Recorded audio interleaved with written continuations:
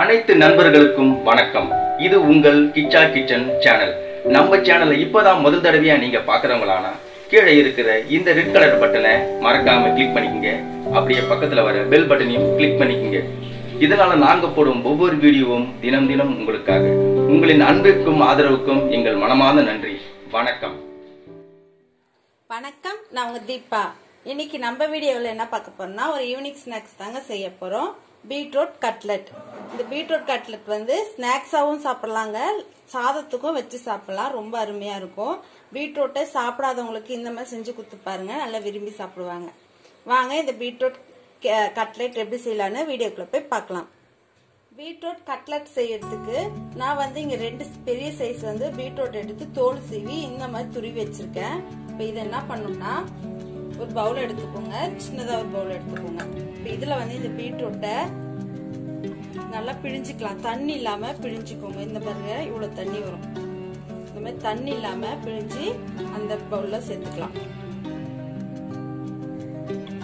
இந்த மாதிரி பிழிஞ்சுக்கணும். ஏன்னா நம்ம கட்லெட்டுக்கு ரொம்ப தண்ணியா இருந்துச்சுன்னா போடும்போது பி- பிரிஞ்சு வந்துடும் அதனால வந்து தண்ணி இந்த மாதிரி பிழிஞ்சுக்கோங்க. பாருங்க எவ்வளவு தண்ணி வருதுன்னு. இதே மாதிரி எல்லாத்தையும் பிழிஞ்சு எடுத்துக்கலாம். பீட்ரூட் பாருங்க கொஞ்சமா தண்ணி இல்லாம கொஞ்சம் கூட தண்ணி இல்லாம இருந்தாச்சு. இப்ப இந்த தண்ணி வந்து எவ்வளவு தண்ணி வந்திருக்கு பாருங்க இதுல. இந்த பீட்ரூட்ல இருந்து இவ்வளவு தண்ணி இருக்கு. இந்த தண்ணியை வேஸ்ட் பண்ணாதீங்க. இதுல கொஞ்சமா சக்கரை போட்டு நல்லா கரைச்சிட்டு கலந்துட்டு குடிச்சிருங்க ஜூஸ் மாதிரியும். அப்படி இல்லைன்னா கொஞ்சமா வந்து கடல மாவு போட்டு முகத்துல கூட போட்டுக்கலாம். இந்த தண்ணியை வேஸ்ட் பண்ணாதீங்க. இப்ப நல்லா துருவி வச்சிருக்க இந்த பீட்ரூட்ல. என்னென்ன பொடியை கட் பண்ண வெங்காயம் ஒண்ணு. இதுல ஒரு அரை ஸ்பூன் அளவுக்கு இஞ்சி பூண்டு பேஸ்ட் இப்போ இதுல அரை ஸ்பூன் இஞ்சி பூண்டு பேஸ்ட் சேர்த்துட்டு ஒரு அரை ஸ்பூன் அளவுக்கு உப்பு. உப்பு வந்து தேவையான அளவு பார்த்து சேர்த்துக்கோங்க. ஒரு ஸ்பூன் அளவுக்கு மிளகாய் தூள். ஒரு அரை ஸ்பூன் அளவுக்கு கரம் மசாலா. அரை ஸ்பூன் அளவுக்கு மஞ்சள் தூள் இதெல்லாம் சேர்த்துருங்க. இப்ப இது கூட வந்து ரெண்டு ஸ்பூன் அளவுக்கு பிரெட் கிராம்ஸ் சேர்த்துட்டு நல்லா கலந்து விட்டுருங்க. கொஞ்சமா வந்து கருவேப்பிலை பொடியா கட் பண்ணி வச்சிருக்கேன். இது எல்லாமே சேர்த்துட்டு நல்லா கலந்துக்கலாம். நம்ம தண்ணி எதுவுமே ஊத்தக்கூடாதுங்க. இதுலயே தான் நம்ம சேர்த்துக்கணும். இப்ப இது கூட வந்து இப்ப நல்லா கலந்து விட்டு இப்ப இது கூட வந்து ஒரு ரெண்டு உருளைக்கிழங்கு நல்லா வேக வச்சு தோல் உரிச்சு வச்சிருக்கேன். இந்த மாதிரி நல்லா மசிச்சு வச்சிருக்கேன். இது சேர்த்துக்கோங்க. நல்லா வேக வச்சுட்டு தோல் உரிச்சிட்டு நல்லா மசிச்சுக்கோங்க. கட்டி எல்லாம் இல்லாம மசிச்சுட்டு இப்ப இது கூட சேர்த்துட்டு நல்லா கலந்துட்டுக்கோங்க தண்ணி எல்லாம் எதுவுமே ஊத்தாம நல்லா கலந்துக்கலாம். இப்ப நல்லா கலந்துருக்கும் போது இதுல அரை ஸ்பூன் அளவுக்கு சாட் மசாலா சேர்த்துக்கோங்க. சேர்த்துக்க மறந்துட்டேன். அதனால இப்ப சேர்த்துக்கிறேன். நீங்க மசாலாலாம் சேர்க்கும் போதே சேர்த்துக்கோங்க. இதெல்லாம் சேர்த்துட்டு நல்லா வந்து கலந்து விட்டுக்கோங்க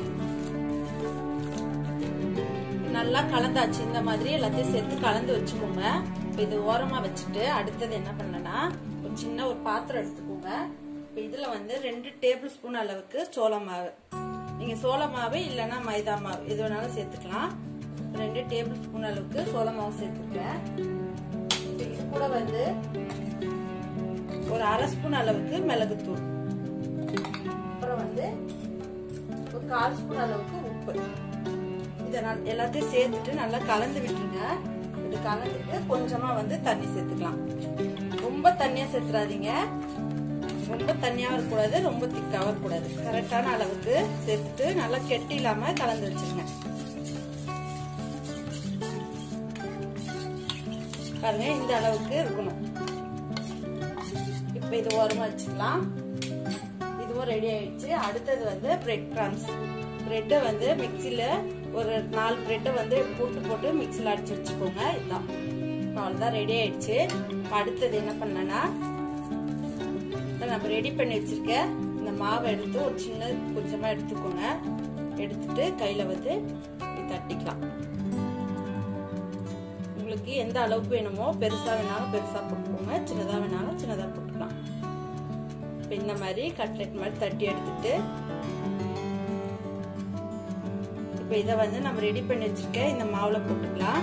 சோள மாவுல போட்டுட்டு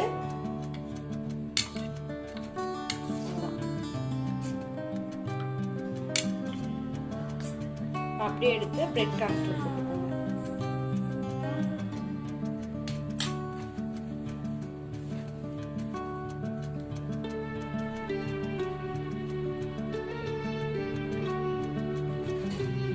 இதே மாதிரி எல்லாத்தையும் ரெடி பண்ணி வச்சுக்கலாம். பாருங்க.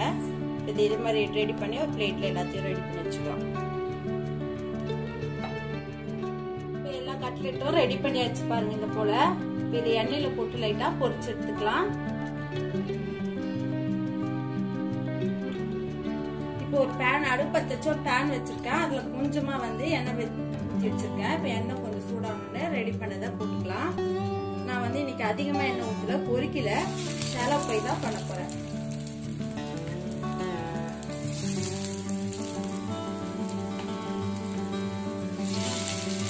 ஒரு ஃபஸ்ட்டு மட்டும் நாலு மட்டும் போட்டுடுறேன் அதிகமாக மொத்தமாக போடாதீங்க. ஒரு ரெண்டு மூணு நாலு. போட்டு அடுத்த சிம்மில் வச்சுட்டு நல்லா ரோஸ்ட் பண்ணிட்டு எடுத்துருவோம் அப்படியே ஒரு பக்கம் ஆனவுடனே எடுத்துக்கோங்க. திருப்பி போட்டுக்கோங்க. பாருங்க இந்த மாதிரி வரணும். நம்மளுக்கு அந்த பேன்ல ஒட்டவே பாருங்க. அந்த மாதிரி ரெடி பண்ணிக்கோங்க. திருப்பி போட்டுருங்க. இந்த பக்கம் ஒரு ரெண்டு நிமிஷம். அந்த மாதிரி கடிச்சிட்டு எடுத்துடலாம்.